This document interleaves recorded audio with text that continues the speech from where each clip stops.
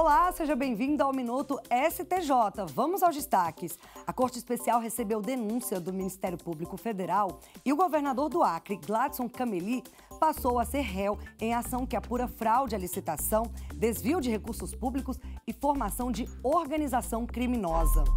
E na primeira turma, os ministros reafirmaram o entendimento de que quando há alienação mental, pessoas com mal de Alzheimer têm direito à isenção do imposto de renda.